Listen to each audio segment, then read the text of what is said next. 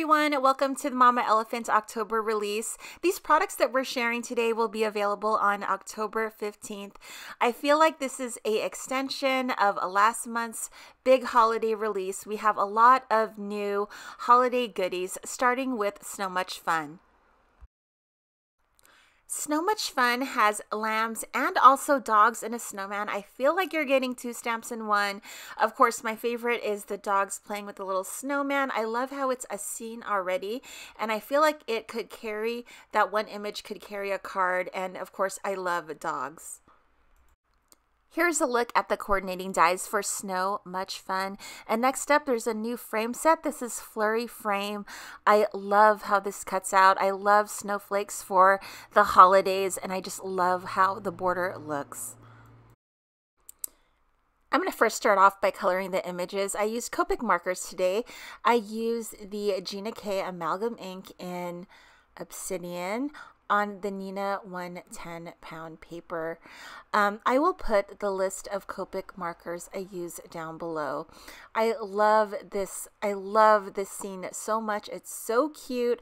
I was trying to avoid using kind of like my mint and pink combo that I always like. So for this, I wanted to use kind of primary color. So I'm going to color the clothes and um, little um, accessories on the animals using um, green and blue. It was a little bit of a rough start for coloring, you guys. I have not colored in a minute. So I'm trying to get my bearings here. I'm trying to do just a little bit of shading like behind the head, like around the ears, and I'm trying to figure out where it all goes. Um, here's my snowman. I like to do an icy glow with BG10 and BG11 and I always try to be careful not to make the whole thing um, that aqua color, but I always fail. I will put a list of the Copic marker colors I use down below in the description box. If I didn't mention it, this set was illustrated by Ada Zamora, and I loved all of the holiday designs that came out this year. And I love how you can mix and match them um, together with all the other ones because they're all kind of winter themed, and um, all of the sizing is kind of the same, so you can kind of mix it effortlessly. And I think um, it would be so cute to put all of them, all of them together on one card. So I'm coloring this little doggy here um, using some blues and I don't normally use this like regular type of blue color. Um, I can tell because my markers like they seem new and heavy um, but I'm just going to do kind of a lighter jacket and then a little bit of a darker scarf and then the little guy peeking out in the back he's going to have a green outfit. Next up, we're going to be coloring these sassy little lambs. I love them. They're having a snowball fight, and the one in the middle is kind of dodging the snowballs. And the stamp set does come with like little snowballs that you can use so you can make a snowball fight.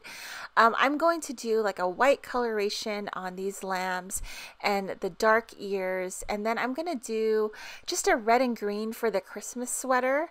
Um, just some red and then like just a um, faded type green for the background.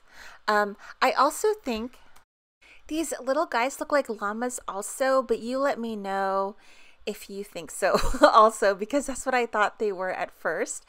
Um, just because of the sweater and it kind of, I don't know, it feels like a llama to me, um, but it, it's a lamb. I always get nervous when I pull out a red marker and I totally didn't follow my rule of doing the other colors first and then doing the red last. Um, I always make sure if I am doing red that it is completely dry because I don't want it to bleed. So sometimes I'll take a heat gun to it um, before I move on with the next color. So let's take a look at Flurry Frame. Here is the frame that it cuts out. I adore that snowflake border. It also comes with these two little extra pieces that you can use to stamp your sentiment on.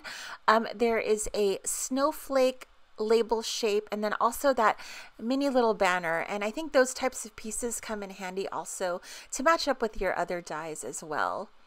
So I'm making two shaker cards today. I've cut out two pieces of acetate. I believe I cut it out in two and three fourths by three and three fourths, just so it could fit inside the frame and have enough room to glue it. And then now I have some double-sided foam adhesive, and then I'm going to adhere it on the perimeter of the frame to create my shaker well.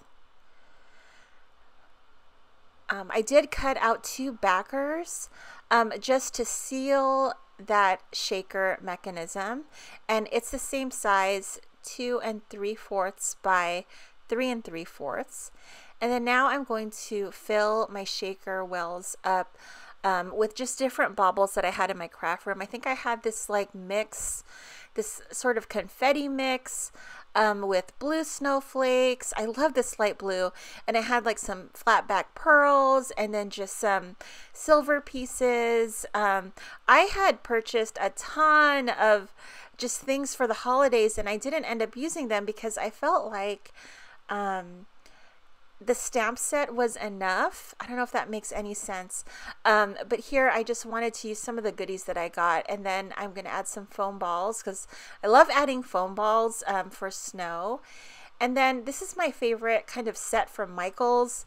Um, it just has little mini glitters in different metallic colors and it comes in real handy if you want just like a smaller um, piece to add into your medium and large pieces.